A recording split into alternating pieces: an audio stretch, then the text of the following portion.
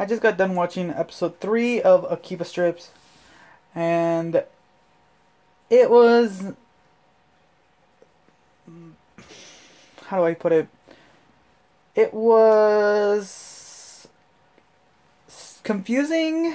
i Okay, so let's, okay, let's start with the beginning.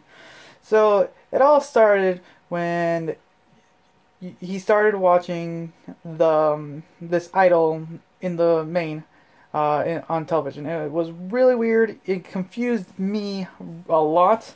It was just this idol idol singing, very monotone, very unfriendly, not unfriendly, but just cold. And if anything I've ever seen, it's like the least idolish thing I've seen in a long time. So when when right after the credits you see him going all out on equipment and going out on the concerts and everything, it really threw me off a lot. I thought it him I thought he was gonna say something like how stupid it was or something, but to display this as his current character, I'm gonna say, um, was interesting because I think like the first third of the episode was just him going out, uh, going to concerts, uh, getting introduced into better headphones to hear, going out into getting actual sound equipment amplifiers,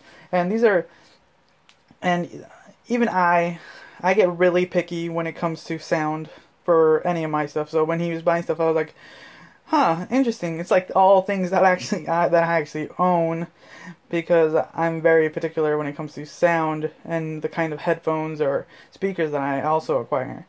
But not to the point where he ends up raging his credit card bill at that point.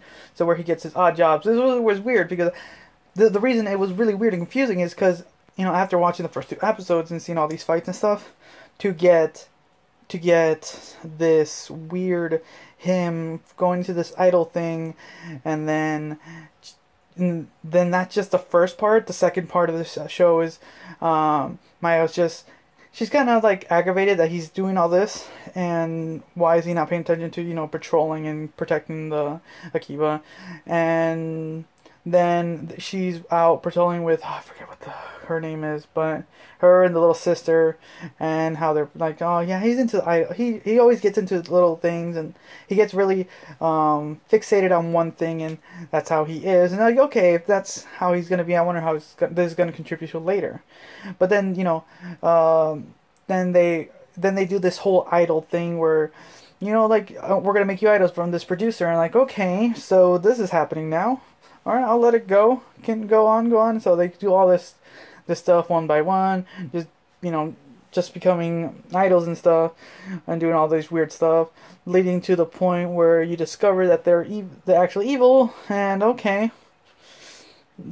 that happened. Sure, I it was kind of sketchy already in the beginning. It, to the point where at, towards the end when they were doing the swimsuit thing, it was getting to that weird uh, area where it's getting close to pornography. And like, okay, yep, that's what's happening. Understood. On top of that, they're evil. All right, finally, some fighting. You get all that. Get everything done. You know, they fight. It was a reasonable, you know, just quick. They made a note of how he, going through all these concerts, you know, mosh pits and all this, going through these hordes of enemies was easy. Like, okay, they made a quick note about that. Uh, and so, you know, after the main, the bit, the camera guy was the main evil guy, and the producer was kind of his lackey. Um, she still had an eye for them. So you know, after doing that, you know, I'll still work at you, work with you to be idols. And so the last, the last scene of this is them actually doing a whole idol scene, which was uh, actually performed by one of their, an actual idol group known as uh, Headphones. If I can get this right. And they actually had their um, their their costumes and everything. So you know that that was a, a neat thing to have. Um, I was really confused too, but you know I, I accepted it because it was for what it was. It was mm, okay. I just like the the and I wish there were subtitles for the actual song, but I'm not gonna cry too much about it. It ended really um, hilarious to a point because after the concert was over, you know, they're all uh, heart beating and out of breath, and the only ones there were their kind of their friends and stuff, and Um, you know, it wasn't like full with people and like I was expecting, but it was just a few people and uh, him there cheering them on, and you know it was it was really that's what I was hoping for, and it worked. So for what it's worth, the episode was fun. I I really enjoyed it towards the end. the The song was great. Um, the performance was interesting. Um, I the end was perfect for what that was. So I'm enjoying it so far. I can't wait to see what happens next week. If it's gonna roll like this with little little niches like this, I'll I'll start getting more accustomed to what it is because it did kind of threw me off. Uh, it's not your classic evil guy plotting so far, and then this middle thing happens, and the final thing's just this weird mishmash of stuff, and I'll I'll take it for, because I'm really enjoying it so far. And throwing in this idol um, tribute thing was really fun too, and um, and the one thing I will note is that during that last scene, uh, even though I, the one thing is I didn't why wasn't Mio trying to more get upset with all these things? You know, she's she has a job to do, and it bugged me a little that she wasn't trying to um, disagree more with all this. So, but seeing that last scene of her being happy that he's cheering for her, and it's really fun. It's hopefully that notes is something a little bit better, and so I don't know. I'm enjoying it so far.